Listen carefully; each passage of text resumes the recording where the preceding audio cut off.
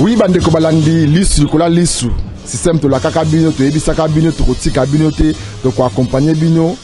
ntina dernière énergie ntango ekoki kote mosusu baloba likambo mabele kote oyo jean mike kabuni atiki assemblée nationale kote oyo juge président ya procès ya vital kamere akufi milelo na milelo bana congo bosambela mingi parce que mboka na biso Avenir ezo mwana eza mingi penda te. Tobetaka masolo ya ONAPAC. ONAPAC eza organisme oyo eza na kati ya ministère ya agriculture. Detournement esalami na ONAPAC. DG Mopate alembongo. DG Mopate ateki bandaku ya l'État. Lelo mokoni akoloba na yo ministre akomi lettre mpo na remise et reprise kuna na unapaki moto ayibaki mbongo azonga mosala sikoyo bandako na biloko oyo atekaki son excellence ministre ya agriculture na onapaki otie kimia to otie desordre le peuple d'abord ekomi slogan ya monoko me na exercice na kosalela eza mwa mpasi ya tika tobeta masolo ya agm mpe ekambamaka na kulutu na biso Jerome Sekana. Mokolo mwa lelo alingaki aexplike bacongolais angel cosmétique esalaka produit nini na produit nini na palimiko na kati ya mboka congo nini oyo angel cosmétique ezosala mpo na coronavirus bokono tozwa yango te biso bacongolais bacongolais nyonso nakobeti nakoloba boye na rdc mobimba angel cosmétique toakompagnaka mikolo euti koleka bomonaki bino nyonso apesaki à peu près 30 tonnes ya ba produits hydroalcooliques tokabolaki yango na ba wenze na hôtel de ville par ci par là akendaki kotika 3 tonnes ya ba, ba produits na prison ya ndolo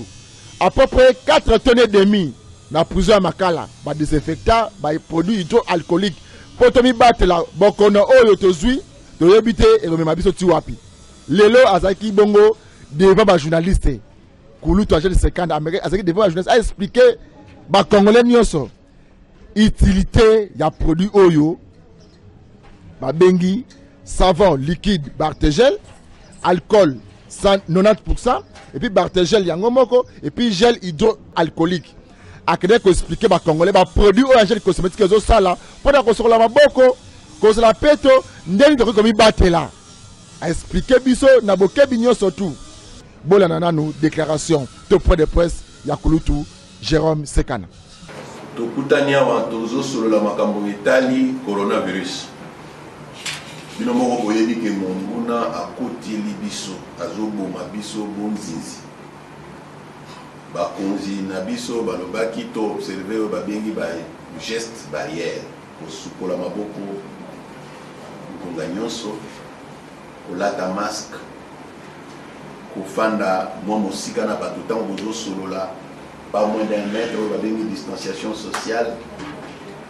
et surtout surtout kofanda na ndako. Biso Angel Cosmetique na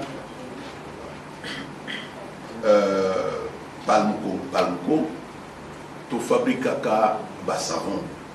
to fabrikaka ba gel hydroalcoolique, to fabrikaka ba savon liquide oyo eza likolo ya mesa awa mpo na kosunga population. Bino population, bino ba consommateurs na biso. Bomonaki na mois de mars awa Angel Cosmetique na Palmco tokabolaki ofele 30 tonnes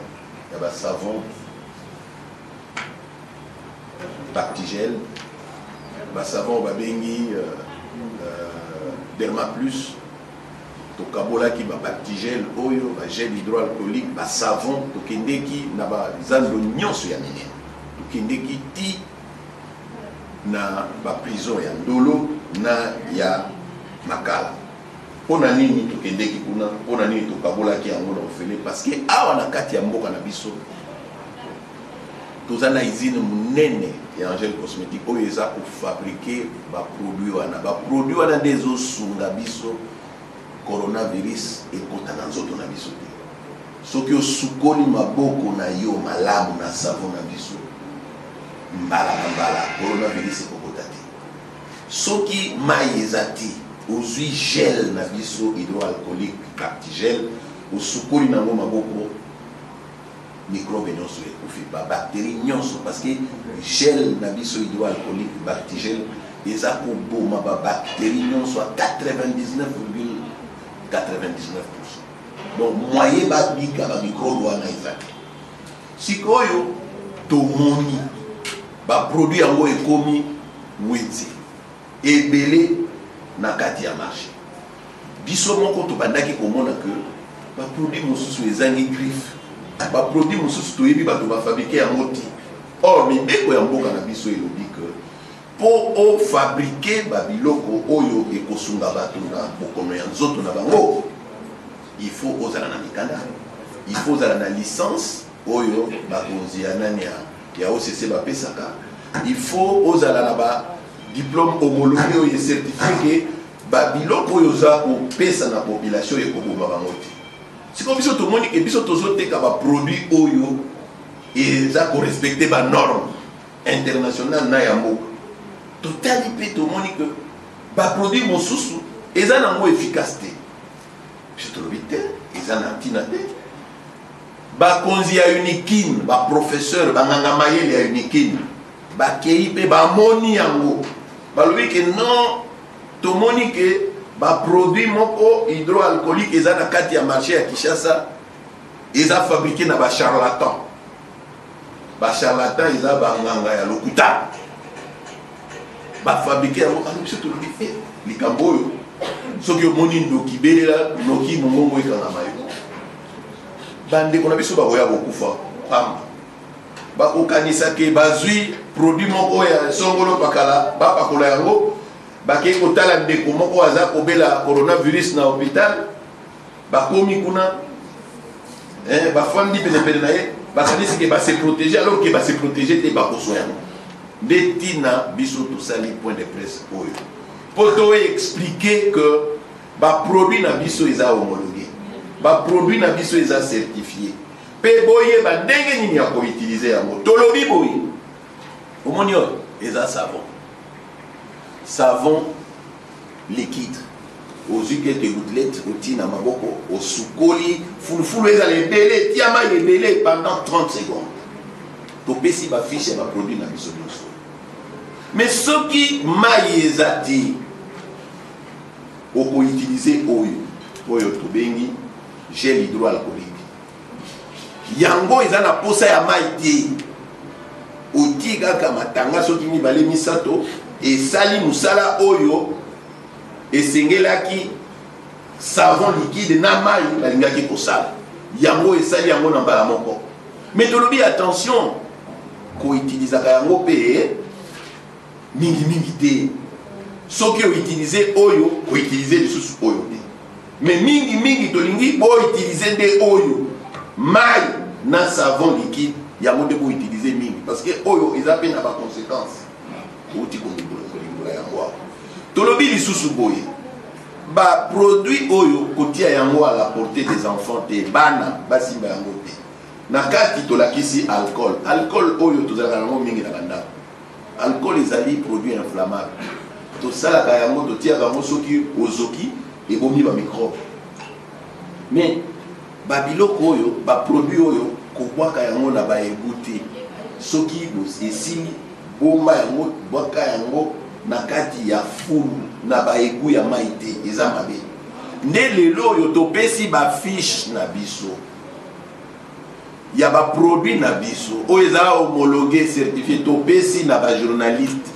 batanga yango composition chimique mpe tolobi boye epai na biso toza na ba materiel sophistiqué elingi koloba ke chaque produit oyo eza kouta na chaîne ya production na biso ezali identifie eza na code barre donc biso toza ba lokola ba banani ba, ba charlatan te oyo ya bango toyebi bisika eza kouta te bokeba bokeba kosomba bisombasomba te soki bolingi kosomba basolution hydroalcoolique bactigène savon san, euh, euh, san, san, sanftol ainsi de suite baproduit oyo toza na yango ezali homologué eza certifié Sinon yo okokanisa ke oza ko se proteger alors ke ozo se proteger te. Okokende kozua coronavirus pamba. Pe tolobi boye bana somi ya Congo il faut tozala fier ba produits oyo tolakisi bino awa eza fabriquer awa na Kinshasa na limete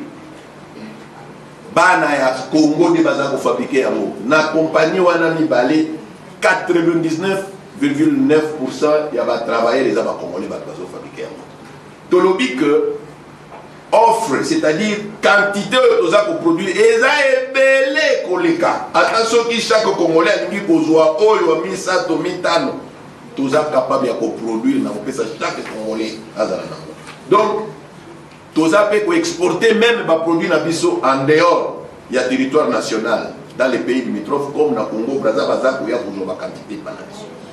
Yango tolobi boye talo na biso echange te biso tolandelaka ba revendeur bakosa bino te topesi ba journaliste tarification na biso totindelaki barevendeur nyonso tableau oyo mpo eza quantité ebele eza na raison ya kosala spéculation te tolobi boye baflacon oyo ya 60 millilitre bateka yango na 1000 francs soki bakomi kotekela yo na 1200 1500 2000 3000 eza yango te parce que na 1000 francs wana bénéfice na bango déjà eza na kati tosololaka na bango tolandelaka barevandere na biso barevandere na biso baflacon oyo ya 350 millilitre eza na 3500 francs congolais malgré inflation biso tochange prix na usine te ya 500 millilitre eza na 5000 francs ya 1 litre eza na 9800 francs congolais elingi koloba nini elingi koloba que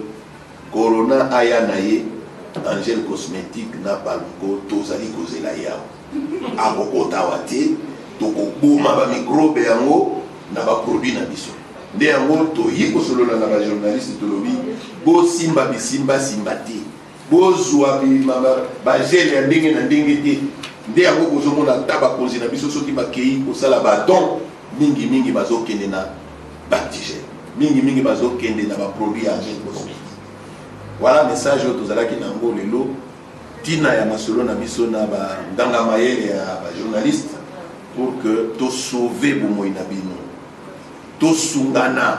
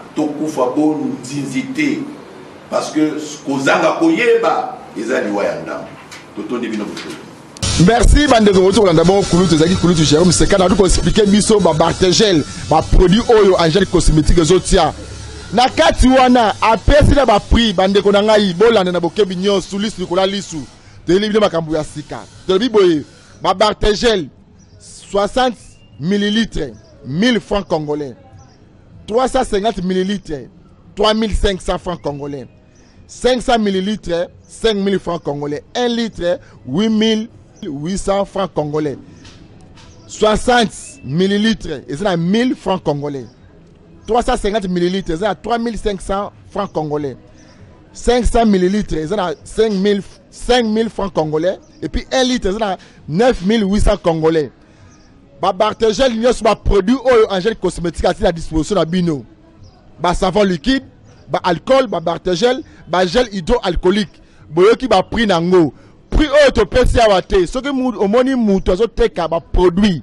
ya angel cosmétique atie ba prix na ye luka ba depot tokende na usine kanga ye foto kende kotindela bango image lakisa bango tala moto na bino oyo tala ba prix azoteka yango te bandeko bapesi eza bongo contribution